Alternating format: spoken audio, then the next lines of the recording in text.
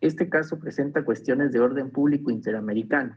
En particular, permitirá a la Corte profundizar su jurisprudencia en materia de debidas garantías en el proceso sancionatorio, específicamente analizar si es compatible con la presunción de inocencia tomar en cuenta los antecedentes penales y disciplinarios de una persona que no culminaron en condena como factores relevantes para imponerle una sanción disciplinaria.